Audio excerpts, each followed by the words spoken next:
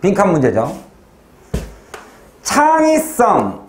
이런 창의성이죠. 아이들이 소지하고 있는 창의성. possess. 예, 여러분 possessed를 수동태로 쓰면 뜻이 뭔지 아세요 혹시? 장난으로 그냥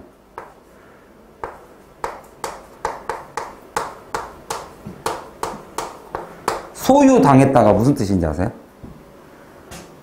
무슨 느낌이에요? 좋은 뜻 같아요? 나쁜 뜻 같아요? 좀 나쁘죠? 뭐가 소유됐다는 소리예요? 정신. 그래서 우리가 그걸 뭐라 그래요? 귀신 들렸다 그래요. She's possessed라는 말이 뭐냐면 악마가 씌웠다는 소리예요.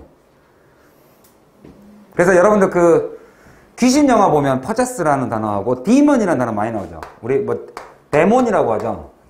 우리는 demon, demon. 이거의 왕이 이거의 왕이 devil. 이거의 왕이 우리 붉은 악마 영어로 뭐였죠? red red evil을 안 쓰고 그때는 devil이라고 쓰잖아요. devil. 그게 이제 왕이고 그 다음에 부하고 그냥 쫄 부하. 예, demon. 그러니까 demon이 보통 귀신이 몸에 씌운 씌워지는 그 단위가 demon이 귀신 씌워지는 개인한테 들어오는 그 귀신 쫄 부하죠 부하. 어쨌든 간에 possessed. 그냥 재미로 알아, 알아듣는 거 재미로. 아이들이 가지고 있는 아이들이 가지고 있는 창의성이라는 거에는 이게 필요하대요. 자, 잘 보세요. to부정사도 동사니까 뭐가 가능해요? 수동태가 가능합니다. To be cultivated. 창의성이라는 것은 뭐가 될 필요가 있다? 이때 잘 보세요. need는 능동을 쓰고 need to be를 수동태 씁니다. 그래서 creativity, 창의성이라는 것은 needs to be, to be cultivated. 그죠? 경작되다, 경작하다. 이 culture라는 단어가 culture라는 단어가 동사로 뜻이 뭐죠? culture가 동사로 뜻이 뭐예요? agriculture. agriculture가 뜻이 뭐예요? 농업이잖아요. 그럼 culture가 무슨 뜻이란 소리예요? 어? 그럼 업이야? but culture가 무슨 뜻이란 말이에요? 농업이 뭐 하는 거예요? 농업이 일이에요? 와, 이런 완전 도시놈들이네. 농업이라는 것은 기본적으로 뭘 하는 게 농업이에요? 생산. 그러니까 그, 그 생산을 공장의 생산하고 좀 다르잖아요. 뭐예요? 아, 손은.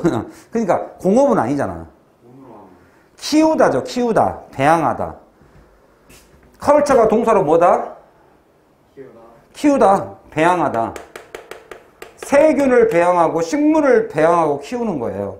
그러니까 컬티베이시 뭐 하는 거겠어요? 컬트가 배양하다. 근데 수동태니까 창의성이라는 것은 창의성이라는 것은 배양되어져야만 할 필요성이 있다.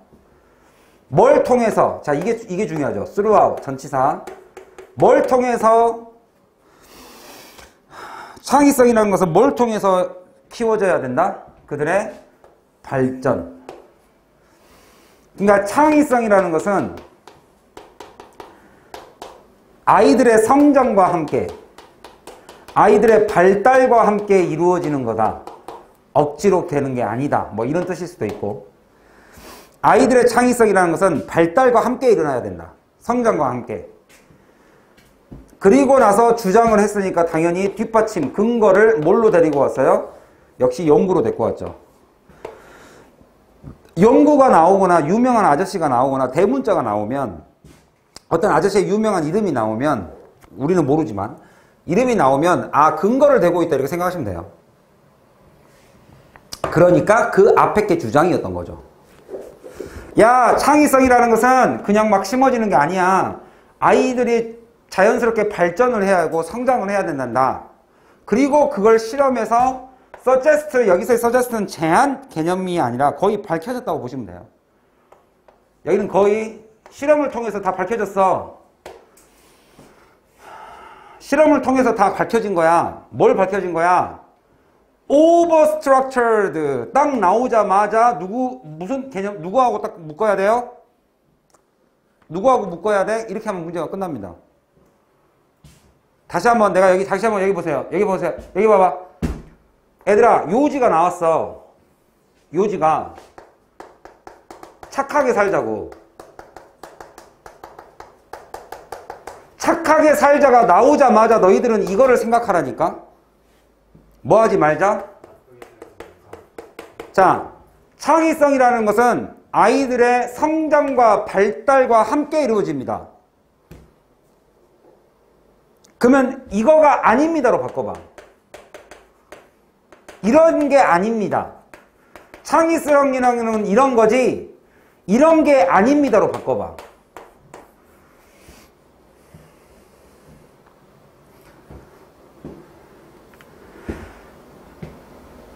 지금 이거잖아요. 야, 창의성이라는 것은 아이들의 성장과 발달과 함께 오는 거야. 이런 게 아니고 이런 게 아닌 게 뭐겠어요? 성장과 발달과 함께 그럼 이거를 여러분들이 한번 생각해 보세요. 성장과 발달을 조금만 차, 다른 동요로 한번 바꿔봐. 한국어로. 선생님, 전 영어를 어떻게 하면 잘할 수 있죠? 선생님, 전 수학을 어떻게 하면 잘할 수 있죠? 저희 아들이 6살입니다. 그럼 내가 뭐라 그래요? 학원 원장이에요? 아, 아이들의 성장과 발달과 함께 이루어지는 거니까 너무 서두르지 마세요. 내가 이랬단 말이에요. 이 뜻이 아니냐고요. 이걸 동의어로 바꿔봐요. 아이들의 창의성이라는 것은 아이들의 자연 이거 무슨 단어로 쓰면 돼요? 자연스럽게 자연이 성장과 발달과 함께 옵니다. 뭐가 아니라 인위적 인위적 이거 딱 보자마자 무슨 단어 생각하면 돼요? over structure예요. 구조를 짰는데 over 너무 지나치게 짜놨어요. 어, 우리 아이 6살이니까 창의력을 키워야지. over structure. 내가 다 짜놨어요. 자, 이것대로 해. 이 over structure 어디다가 집어넣을까? 누구하고 연관시킬까요? 이 단어를 딱 보자마자 누구의 반대예요? 성장 반대. 자연스럽게 이루어진다. 인위적이 아닙니다. 이 단어는 인위적인 거죠. structure 구조를 쫙 짜놨잖아요.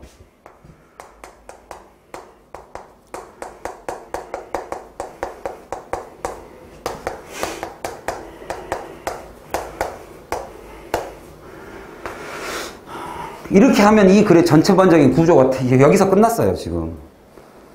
이 연구는 뭘 밝힌 거예요? 이 요지, 여기가 요지겠네요. 요지를 증명한 게 아니라 뭘 한 거예요? 이거 이거가 맞습니다로 이거 이거가 맞다로 간 게 아니라 이것이 아닙니다로 간 거예요.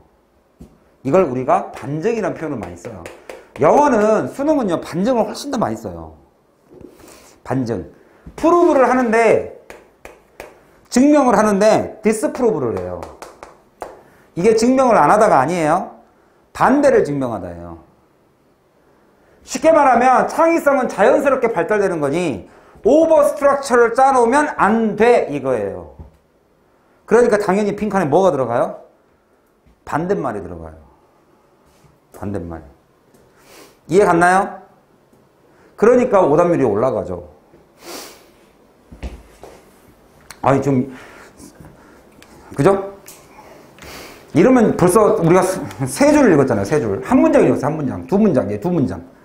오버 스트럭처를 딱 보자마자 아 자연스럽지 않은 것, 인위적인 것 하면 이 글은 거의 다 끝났어요. 거의 다. 됐죠? 깔끔하죠? 그래서 선생님이 뭐를 자꾸 공부시키는 거예요? 단어를 외울 때? 동의어, 반의어도 있지만 근본적으로 영영 뜻이 들어가면 되게 좋아요. 아, over structure. 아, throughout 그러니까 이 단어가 제일 중요했던 거죠. 사실은 처음에 throughout their development. 어, development라는 단어를 내가 어떻게 이해하지? 발달하고 끝내버리면 이게 눈에 안 보여요.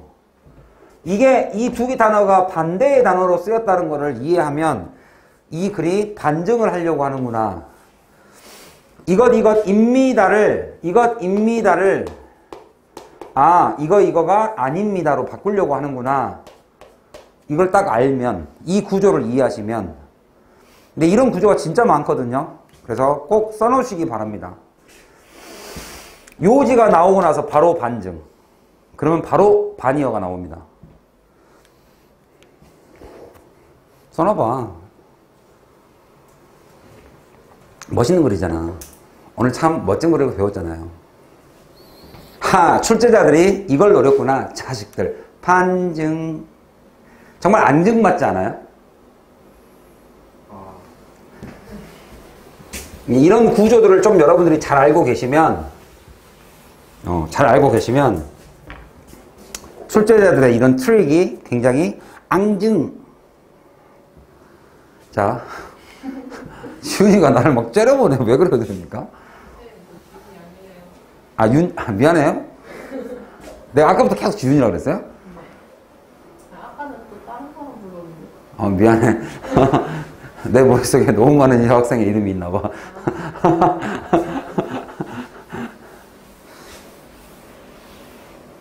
지윤이, 지윤이 맞잖아. 네? 지윤. 윤지, 윤지. 윤지 맞잖아요, 윤지. 윤지 맞잖아. 맞죠? 저희 언니 이름이에요. 아, 윤, 윤지는 너희 언니 이름이에요? 아, 그러니까 나는 너의, 너의 언니까지도 신경을 쓰고 사는 사람이야. 자. 윤서, 윤지. 아, 왜 이렇게 내가 윤지라고 그러죠? 지훈이가, 그죠? 지훈이가 지금 집에서 듣고 있고, 지- 너희 언니 이름이 뭐라고요? 윤지? 많이 실망스럽습니다. 윤지. 아, 너희 언니 이름이 윤지였구나. 너의, 너의, 어, 자매까지도 내가 다 머릿속에 넣으 그 관심이 많은 거죠. 자, overstructing. 아이들을, 아이들의 환경을 인위적으로 어, 선생님 사, 사전 찾아보니까 인위적이라는 단어는 없던데요? 아니, 없죠, 당연히. 선생님, 디벨로퍼를 찾아봤더니까 자연스럽게라는 말은 없던데요? 아니, 당연히 그 말은 없죠. 문맥상. 애들을, 좀- 애들을 좀 냈더라. 애들을 인위적으로 바꾸시면요. 아마도 limit 해버리면 되잖아요. 그러니까 딱 나오잖아요. 벌써 이렇게 몰고 가는 거 보이세요? 이렇게 몰고 가는 게 보이세요? 이렇게 하면 안 된다라고 지금 반증하려고 하는 거예요, 반증. 반증을 통해서 얘가 하고 싶은 건 뭐냐? 거봐라. 내 말이 맞지? 마이너스는 틀렸다. 이 말이에요, 지금 쉽게 말하면. 마이너스는 틀렸다. 따라서 플러스가 맞다. 그 플러스가 그러면 뭔데? 아이들의 자연스러운 성장과 함께 창의력이라는 것은 발전되는 것이야. 라고 얘기를 한 거예요. 이런 de, development. 아, 그러면 여기에 development는 이 development. 자연스럽게 아이들의 성장은 development를 이렇게 가져오는 거죠. 이게 바로 문제라고 딱 잡아줘 버리잖아요. 거봐, 너 틀렸어. 이게 문제야. 너 이렇게 제안하는 것이 문제야. 너의 문제야. 그게 바로 과학 학습에 있어서의 대다수가 가지고 있는, 대부분이 가지고 있는 문제야. 그것도 아주 중심, 핵심의 문제야. 근데 밑에 읽으면 다 이 얘기다. 다 이 얘기다. 플러스는 맞고 마이너스는 틀렸으면 그 마이너스가 의미하는 단어만 단어만 다 달라지는 거지 다 똑같아요. 동의어 찾는 재미예요 이제 여기서부터는 대체 어떤 단어로 바꿨는지만 보시면 돼요. 여기는 이제 일단 첫 번째 나온 게 over structure고 over structure고 exercise or activities are devised 자 고안되어집니다. 여기선 디자인이에요 그냥 디자인. 디자인도 됩니다. 뭘 하기 위해? Eliminate different option. 보세요. 얼마나 가슴 아픕니까? 이 different option이 무슨 뜻이에요? 여기서의 different option이 무슨 말이에요? 다양한. 다양한, 그렇지. 와. 다양한이에요, 다양한. 다양이니까 이게 창의예요, 창의성. 그런 창의적인 것들을 다 없애버린대잖아요. 여기서는 different option이란 단어가 생, 결국에 뭘로 쓰인 거예요? development, 창의성으로 쓰인 거예요, 여기서는. different option. 그런데 그게 문제점이잖아요. 그러니까 이거를 없애려고 만들어졌어요. 그리고 어디에만 집중해요? predetermined result. 여기 어디로 가야 돼요? predetermined result는 여기서 긍정이에요, 부정이에요? pre가 미리고 determine이 결정된이에요. 이쪽이에요, 이쪽이에요. 마이너스 플러스. 마이너스. Over structure의 동의어입니다, 여기서는. predetermine.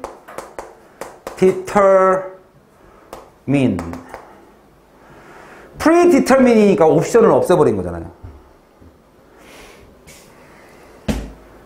그러니까 여기는 이런 거죠. 어떻게 보면 다른 말로 하면 여기는 다양성. 그게 창의성이에요. 여기는 뭐예요? 획일화. 획일. 하나로 결정해놓고 이미 답은 나와 있어. 답정 너 답은 딱 정해져 있었어, 원래. 근데 무슨 창의적인 생각을 하라는 거야? 이런 거죠.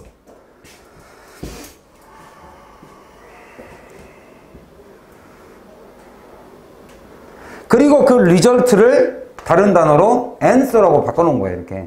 그러니까 답이라는 것이 이미 structured 구조가 돼 있습니다. 뭐 하도록? fit the course assessment예요. course라는 것은 그 수업이죠.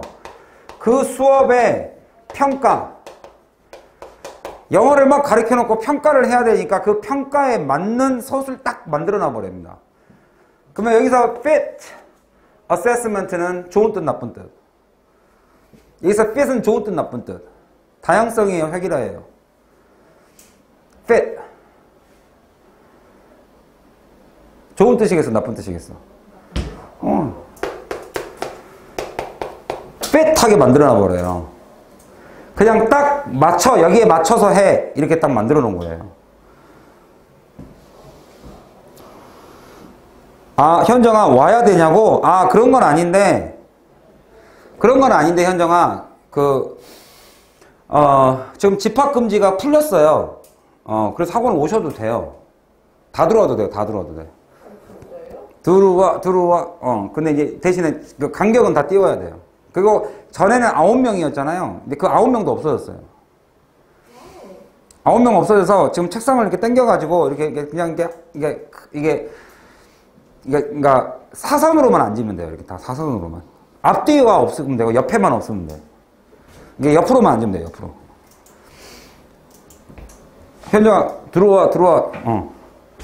그 다음에 the wonder. 어 과학의 wonderful 이러죠. 오 경이로움.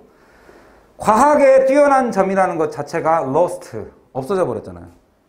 뭐와 함께 along with cognitive intrigue 얘와 함께 없어져 버렸습니다. 그러니까 과학의 wonderful도 없어져 버렸고 과학의 intrigue가 뜻이 뭡니까? wonder. intrigue가 무슨 말이에요? 이게 curious잖아요. 호기심이잖아, 호기심. intrigue. 이제 호기심이라는 것 자체가 없어져 버렸어요. 다양성이라는 게 없어졌어요. 다양성이라는 게. 지금 그게 반증하고 있는 거예요. 그러니까 이게, 이게 다 문제다. 그러면 이 동의어가 마지막에 마이너스가 들어갈지 플러스만 들어갈지가 결정하면 되는데 내 마이너스, 내가 알고 있는 마이너스의 뜻이 그 뜻으로 안 보이는 것이 들어갔겠죠, 당연히. 여기서는 문맥적으로 뭐가 안 좋은 것을 의미하는지를 정확히 잡아야 됩니다. 자, 우리는 cognitive intrigue라는 것을 여기는 지금 긍정이죠. 뭘로써 이제 지금 또 이제 플러스로 바뀌었습니다. 갑자기 뭐로써 정의 내리냐면 wonder예요. 호기심, 뭔가 경이로움, 뭐에 대한 stimulate, 뭐를 자극시키는 그리고 intrinsic, intrinsic, 본능적으로 무슨 동기부여를 우리에게 줍니까? 개인들이 이거 할수 있게. voluntary가 뭐예요? volunteer. 지원자니까 자발적으로 스스로 개인이 스스로 뭐 할 수 있도록 인게이지가 뜻이 뭐예요? in이 들어오니까 engage. 교전하다잖아요. 약혼을 하다. 또는 어디 어디에 참여하다. 어디에 참여해요? activity에 참여하게끔 만드는 거예요. 뭔가 자발적이고 in. 이게 전부 다, 다 긍정의 뜻이에요. 이 두 개가 나뉘어져 있다는 뜻이죠. 그런데 그런 커그니티브를 잃어버렸으니 잃어버렸으니 어떻게 됐겠어요? initiated 누구에 의해서? soul 별표 쳐야죠. 단일화 soul 야 연필은 이거 하는 데만 쓰는 거야 하고 줬어. 근데 무슨 창의력을 바라냐고. 답은 정해졌는데. Sole use of play 아이템이잖아요. 그냥 노는 것을 하나의 목적으로만 하고 있어요, 지금. 이게 바로 명확한 마이너스란 말이에요. predetermine이란 말이에요. 이미 결정되어 있어요. 근데 무슨 창의성이야. 그리고 reinforced. 그죠? 강요받고 있죠. 뭐에 의해서? 여기 나와 있는 wrote, 암기. 이게 무슨, 이게 무슨 창의성이냐고. 이게 전부 다 마이너스 뜻이라고, 이게. 이게 다 마이너스 뜻이에요. 그런데 여기에 들어갈 게 마이너스냐, 플러스냐는 아직 결정이 안 났죠. 자, 이제 여기서부터가 진짜 진짜 잘, 이제 얘들아, 여기까지 다 읽었는데 여기 와서 놓치면 안 된다. 여기에 들어갈 게 마이너스인지 플러스인지만 일단 결정하자. This is exemplified. 자, 이러해서 this가 가리키는 게 플러스예요, 마이너스예요? 이거 마이너스죠? 이것은, 잘 봐. 이러한 마이너스는 exemplify. 자, 예시를 통해서 증명이 됩니다. 이 말이에요. 그럼 여기 나와 있는 게 이게 플러스였겠어요? 마이너스였겠어요? 당연히, 당연히 this, 이것은 예시에 의해서 증명이 됩니다. 그리고 밑에 빈칸인데. 그러면 갑니다. 토이와 장난감과 게임과 그리고 모든 수업이 이러한 수업, 이러한 게임. 그러면 이 마이너스가 들어가야 되니까 이 안에 들어갈 단어는 획일화가 들어가야 돼요. 획일화. 획일. 오로지 딱 이미 정해진 하고 찾아봤더니 이래서 어려웠던 거예요. 여기 선택지 1, 2, 3, 4, 5번 중에 마이너스의 뜻을 갖고 있는 걸 찾아야 돼요. 그럼 가볼게요. and는 뜻이 뭐예요? 너 끝 하지 말고. 너의 끝에는 뭐가 있니? 자, 가운데가 있어요. 중간. 그 중간이 오면 네 인생이 태어나서 죽을 때까지. 중간을 우리가 영어로 mean이라고 합니다. 중간값 정의, 중간. 그래서 이 mean이 수단이에요. 왜? 중간이니까. 거쳐가는 과정이니까. 자, 마지막 최종. 최종을 우리가 뭘로 보는 거예요? 목표로 보는 거예요. 그래서 그 목표에는 무슨 뜻이 있어요? end라는 뜻이 있습니다.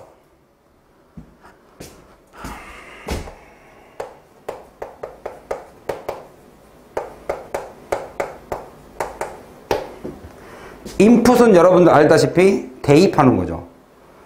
그죠? 입력. 흥미. 자, 4번 흥미 들어가면 돼요, 안 돼요?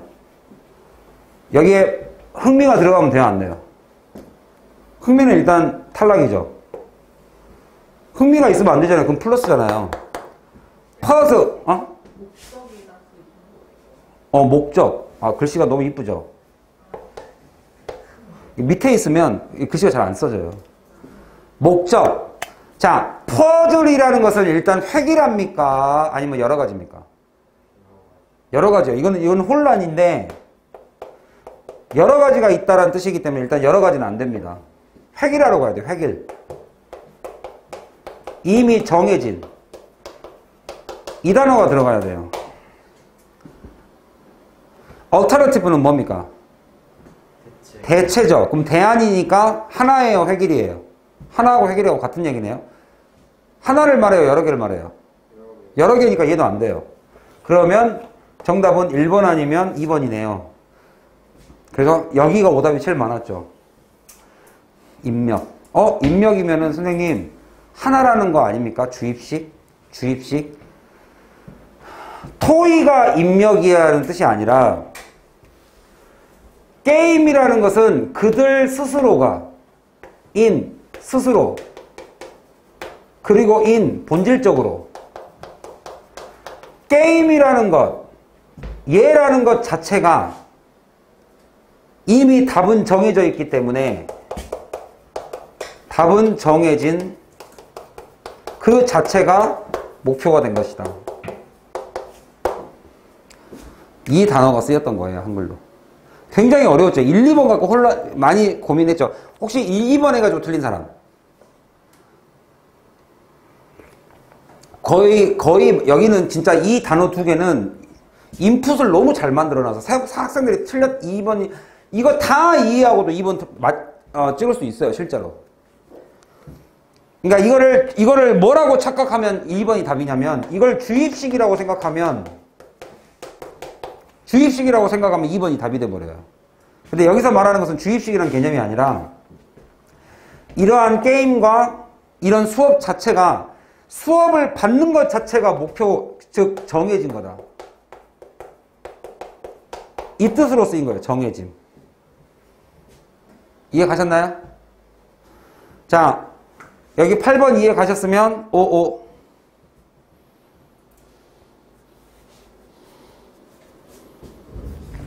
그죠? 여기 하현정이도 지금 2번에서 틀렸죠? 그러니까 너무 단어를 잘 만들어놔서 이런 것은 진짜로 틀리라고 된 거예요.